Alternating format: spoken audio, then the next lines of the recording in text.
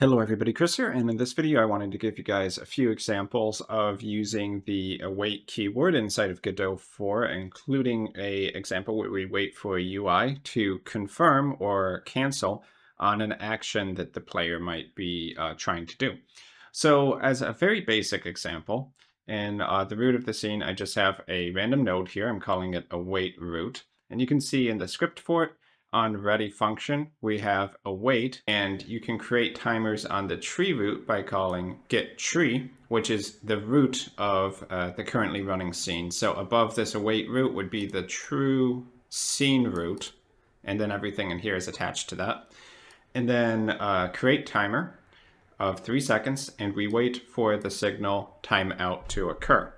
So if you don't like chaining your functions together like that, another way you could do this would be to say var tree equals get tree, and then uh, var timer equals tree dot create timer 3.0, and then down here we can say timer dot timeout. So timeout here is the name of a signal, so if I right click on timeout and I look up the symbol, you can see that signal here emitted when the time reaches zero, as you would expect from a timer.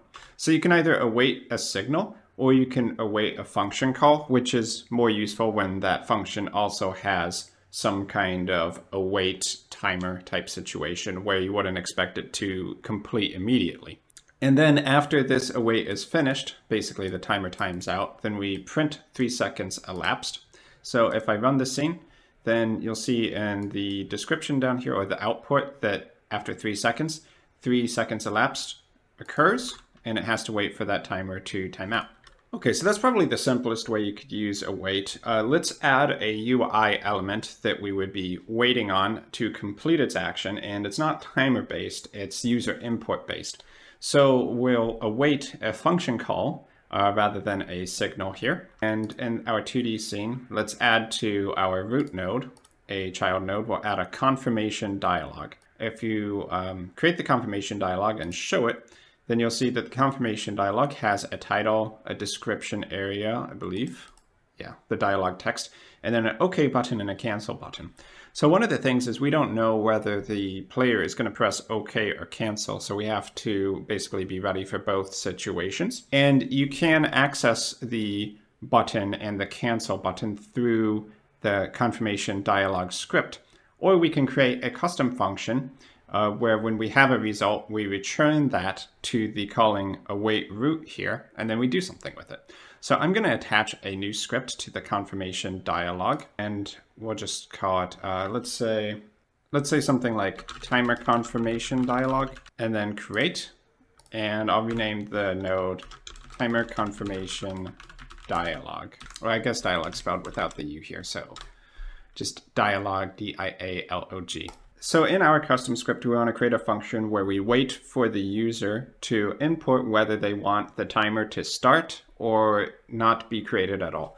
So I'll say, let's say function wait for, let's say wait for timer confirmation. And this won't take anything as a parameter, but we're going to return, let's say a Boolean, true or false, true for we want to go ahead and do the timer situation, or false is going to be for cancel. Okay, so we don't know how long it's going to take for the user to actually choose OK or cancel. So we're just going to wait until one of those two buttons is pressed. So let's create up here a, a variable. I'll say variable finished, and we will set this to false by default.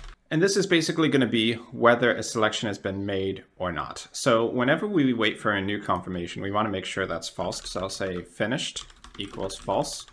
And let's say while not finished, then uh, we're going to keep looping. And whenever we loop, we want to basically wait for the next frame and then check if it's finished again. So we'll do await, and let's say get tree dot process frame. So this is a signal that the scene root, whenever a new frame processes for all your nodes, it's going to emit this signal. Now, um, it's kind of redundant to get the tree again on every frame. So let's store a reference to the scene tree or scene root rather, and we'll do scene root equals get tree. But we're only going to do that one time. And then whenever we're looping down here, we just use that same reference. So we only get the tree once. Okay, we also need a result. So the user import result. It's going to be a var result. And I could say, I'll say this is uh, null by default. And we'll also make sure it's set to null uh, whenever we come in for a new confirmation so we don't accidentally return an old result. Um, so now basically we need to connect to the OK button and the cancel button. So if you wanted to, you could look at confirmation dialog and you can see uh, in the docs, which are built into Godot, and if you need to search for those, you can just type in confirmation dialog like this and find that. You can see that there's a get cancel button, which you can grab the signals on that button from. And if we go to accept dialog, which is the parent class, then you would have get OK button. So it's very easy to actually get these buttons in code. Okay, so uh, in order for all this to work, we need to get reference to those buttons, and I'm just going to do that on ready. So let's say var OK button, and as far as I know, this should be a button class and then var cancel button, which is of course going to be another button. So in our script to get access to those, we'll do a function underscore ready and OK button is going to be equal to get, uh, not get cancel button, get OK button. And then cancel button is going to be equal to get cancel button. We also want to connect to the signals on these buttons. So OK button dot pressed dot connect. And when you connect to a signal you want to give it a function to call whenever that signal is emitted. The signal of the button gets emitted when the button is pressed. So whenever the button is pressed we want it to do something inside of this script. So i'm going to make a function underscore for private and i'll just call this uh, on okay pressed. And we'll do cancel button dot pressed dot connect and underscore on cancel pressed. Okay, now we're going to get a bunch of errors because these functions don't exist. So let's go down here and create new functions. So I'll just copy and paste the name here. So function underscore on OK pressed. And we're going to do something with that in a minute. I'll pass it for right now. And let's create another function on, so function on cancel pressed and we can pass that just to get rid of the error. Um, so when OK is pressed, we want to say that the result is true, and we want to say finished is also true. So we'll say result is true and finished is true. And since finished is true, now this await function will be able to complete. So we'll add a little bit more code down there uh, to return the result. But before that, let's do on cancel pressed. We'll say the result is false and finished is equal to true. Okay, since in both cases it should be finished now, let's add in the return result. So as long as these two buttons are pressed, we should be able to return the result, expected to be a, boolean okay for okay for a true result, which means okay we want to start the timer and then on cancel pressed result equals false for do not start the timer. Okay, so we have this awaitable function uh, since it does not complete immediately, it completes when uh, finished is set to true, and then it will return the result. So we go back over to our other script now, and instead of awaiting uh, this timer, well, I guess we will still await the timer, but uh, before that, we want to get the confirmation. So let's add in an export at export var timer confirmation dialog, and this would be a oh, what did I give it a class name? And I want to give this the class name timer confirmation dialog, but if I check the other script, you'll see I didn't give it a class name, so I can't reference it by the name of the class. Also, there's an extra F there in the name of it. So to give it a class name, just at the top, class name, timer confirmation dialog. So we want to be specific here so that we can easily access um, the functions we wrote. So inside of our await root, timer confirmation dialog. You see it pops up now um, since the class name keyword kind of registers it with Godot. Okay, and now we can assign a timer confirmation dialog. So it'll only work with this custom class. If I create a uh, new confirmation dialog, like so, confirmation dialog, and I try to assign that, it's not going to be available. If I show all, you see it's grayed out because a confirmation dialog is not a timer confirmation dialog until I assign the script to it.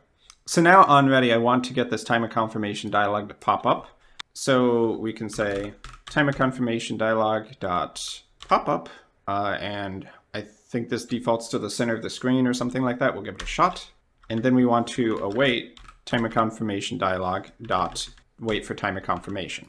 So uh, remember, this is a function within await. So we're waiting for this await function to complete. And then if that completes, then we'll take the result, uh, which gets returned here. So we actually want to assign that to a variable. Our result equals await timer confirmation dialog, wait for timer confirmation. And if result is true, you could just leave it as if result, because uh, that already implies that. But just to make it a little bit more clear, I'll say if result equals true. Okay, so clearing that up. Otherwise, we just ignore that and the ready function completes. You don't really need to do like else pass or anything. Um, you can just ignore it because if the result's not true, this code doesn't run. Okay, so let's try hitting uh, play. Actually, let's take the time of confirmation and hide that initially because a pop-up does not usually show initially. So we want to wait until we manually pop it up here. And let's run the scene. So we'll see if this all works. Okay, we have the please confirm. You can see, of course, that the timer hasn't started. It's been more than three seconds and there's nothing down here because we're waiting on this to complete. So I'll go ahead and click OK here and we'll see if it runs down there. Three seconds later, we have three seconds elapsed. Okay, cool. So let's test the cancel version. So if cancel happens, the result is false. So I'll click cancel and we shouldn't see anything after three seconds. And as you can see, that works exactly as intended. So from a debugger sense, to kind of make sure that what's happening is happening correctly, uh, we could set a couple breakpoints here in the script by just clicking to the left of the line and we set these breakpoints. So whenever this line is reached, it's going to trigger. So um, in this case, we would not reach uh, this line down here until we hit OK. And then this line would take three seconds after this line completes. So if we hit play, we'll be able to hit these breakpoints. So you see immediately the pop-up occurs. We start waiting on the wait for timer confirmation dialog.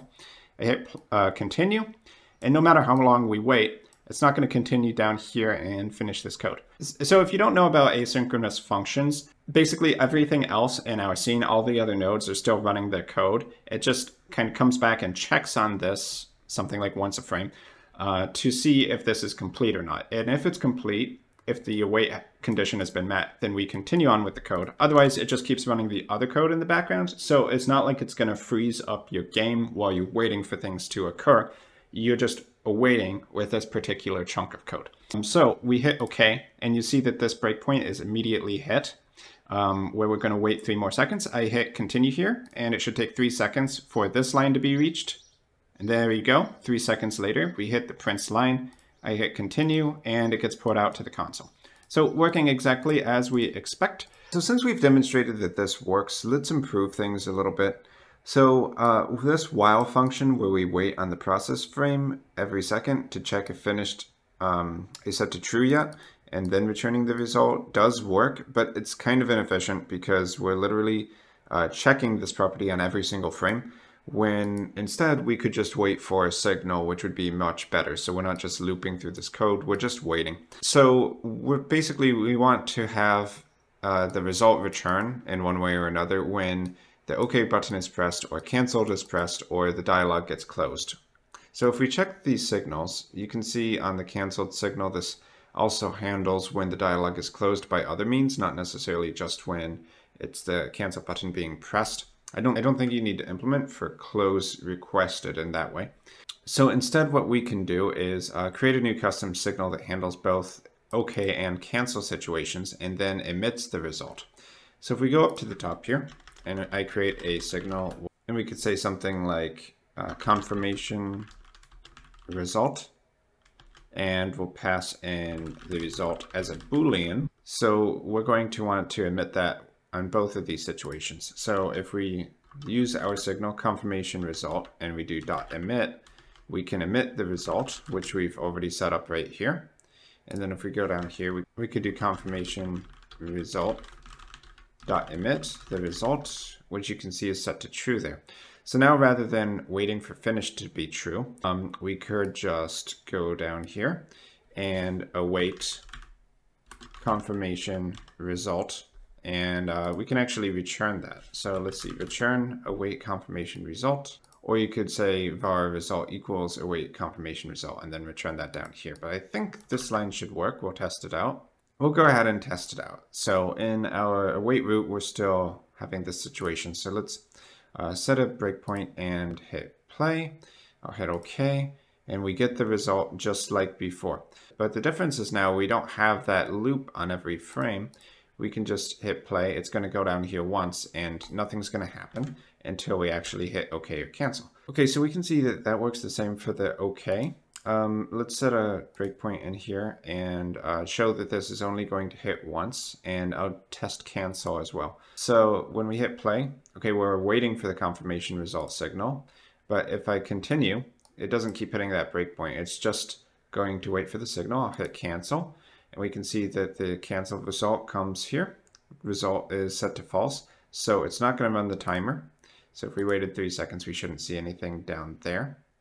So that's a bit more efficient. Now, um, honestly, the wait for timer confirmation, we could change that as well. So if we look at the signals for timer confirmation dialog, we can see uh, about to pop up is a signal we could use. So when uh, we call pop up on the dialog, we could just use that moment to reset the result and reset finished. So in here, I'm going to um, undo a few times and I'll make a note up here about this being an option, but inefficient just for reference. Okay, there we go. And what we'll do is on ready, we'll uh, connect to the about to pop up signal. So about to pop up dot connect.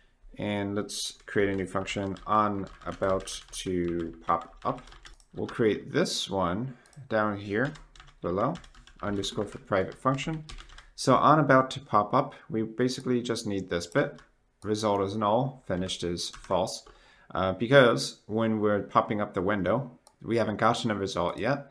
And we are setting the finished to false because we're also still waiting for OK to be pressed or cancel to be pressed. Okay, and now on the await root, we can... Okay, so to show that this will happen, basically as soon as we pop open the window, uh, let's let's set a breakpoint here. So we see pop-up occurs here before the wait for timer confirmation. So let's hit play, and we can see when I hit play, on about to pop up occurs first, and then we get to wait for timer confirmation. So if we look at wait for timer confirmation, at this point we can actually just eliminate this um, because we can just await the confirmation result directly. So on await root, for getting the result, and I'll just comment that one out, I'd probably in the end do something like var result equals await timer confirmation dialog dot confirmation result. Okay, and now we no longer need this inefficient loop. So we can hit uh, play. Well, let's set a couple breakpoints. So I have one there, one here, and we'll hit play.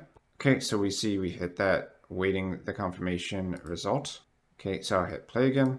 And now we're waiting for one of these two actions to occur. If I hit cancel, what we get result is false. So this uh, timer will not be created and we won't get three seconds elapsed. And if we reset that scene, uh, I'll hit OK this time. We get the OK result. I'll hit play.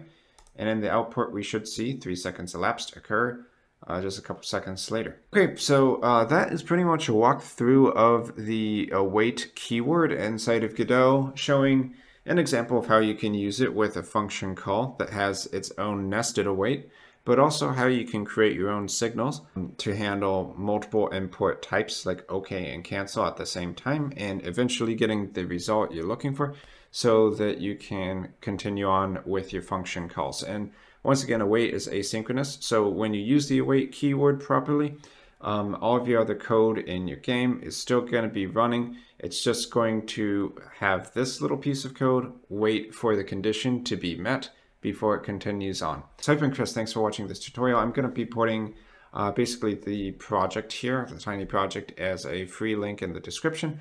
Uh, thanks for watching to the end, and I will see you guys in my future video content.